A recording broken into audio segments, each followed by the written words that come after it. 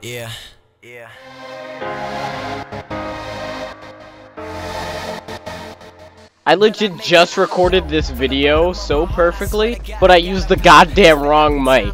Sometimes my Elgato just automatically, like, goes into the regular mic that my laptop came with, and I'm gonna just show you guys exactly what this sounds like. So recently I've been noticing an abundance of fake niggas. And I know you guys wouldn't fucking want to see a whole entire video like that. Other than the quality just sounding like pure crap, the video was actually pretty good. So what I talked about in that video was actually fake niggas and fake people in general. So if you guys know me like personally and actually have like had a like a decent amount of conversations with me and are friends with me, you'll know that I fucking hate fake people. Recently I've been running into so many people online that are just so fake and it's crazy because I would have never thought that people online would have been fake because I know like it just seems like something that an IRL person would do. And I personally thought there would be like little to no drama when it came to fucking Call of Duty, you know? But I'm pretty sure we all know about DramaAlert and all that bullshit. So now if you guys don't know what a fake person is, I'm just gonna give you just a little bit of an example. So say me and you becomes really, really good friends and we're just hitting it off, right? And we talk a lot and we've been friends for like a good two, three months, right? And you suddenly got big,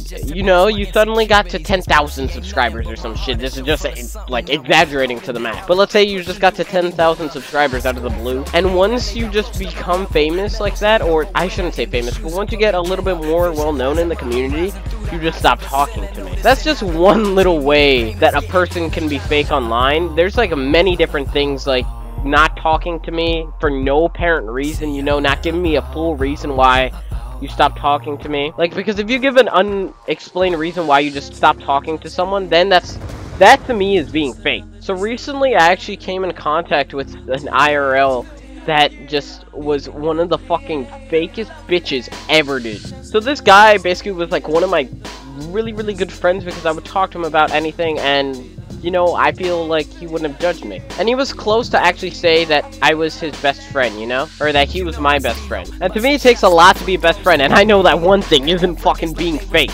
That's not on the list. So here's basically what this quote-unquote friend actually did. So me and my girlfriend actually had an argument a couple days ago, and he's friends with both of us, or at least was friends with both of us, and he was trying to, like, talk to each one of us, trying to, like, get us back together, or at least trying to help us. And as he talked to me, he was talking to her, like, pretty much the same time or around the same day or some shit. So as he was telling me something, he was telling my girlfriend the exact opposite. Which basically me and my girlfriend actually found out about that. Now we both just cut him off. We're just like, no, we gotta cut the bitch off.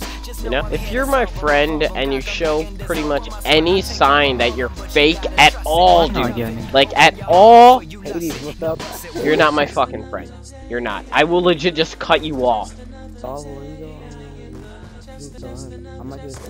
Oh! Oh my god! I actually fucking hit it. Radar, you're bad kid. Jesus. sub to radar lead and what do you do? You hit a you hit a shot, dude. You hit not a dude, oh my god. Oh God, go for something better. That was that was go on, dude. That was still it was it was a seven. That was uglier than fuck. Fuck, my It was fucking ugly. screen It was- froze. It was distant though.